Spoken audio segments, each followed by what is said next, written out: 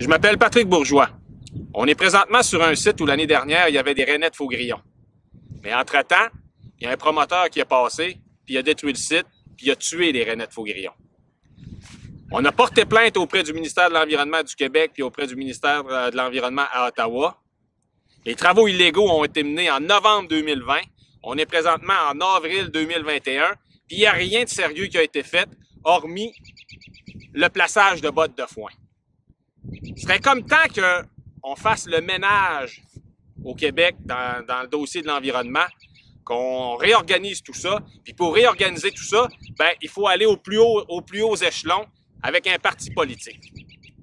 Puis tant qu'à faire le ménage, puis euh, de, de, de, faire en sorte que l'environnement ait du mordant, pourquoi qu'on garde deux ministères, un à Ottawa, un à Québec? Moi, ce que je voudrais, c'est un vrai ministère de l'Environnement au Québec avec des vraies ressources, des vrais moyens, une vraie volonté, une vraie vision pour protéger la nature d'ici.